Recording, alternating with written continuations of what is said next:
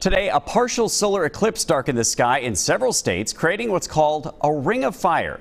CBS's Omar Villafranca is in San Antonio, Texas, with a look at the rare celestial event.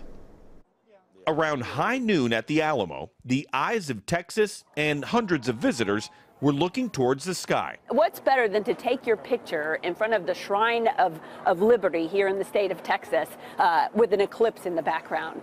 A rare ring of fire eclipse was visible from Oregon through Texas. Ring of fire because the moon doesn't quite cover the sun.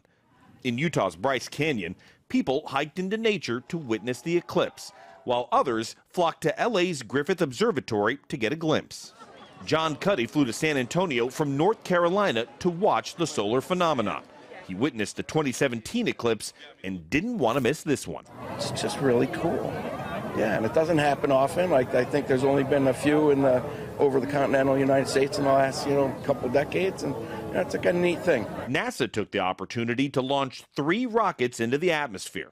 This is absolutely going to be new.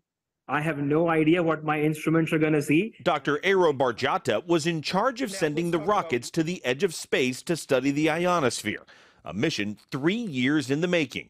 But he made sure to see the solar phenomenon with his own eyes. At that point, we kind of run outside the building, wait to see the rockets get shot into the sky, also take a peek at the eclipse, and then run back in because we got to get ready for the next rocket. I like the look, I just can't see anything out of it. Back on Earth, the eclipse stole some of the spotlight during several college football games. That's very nice.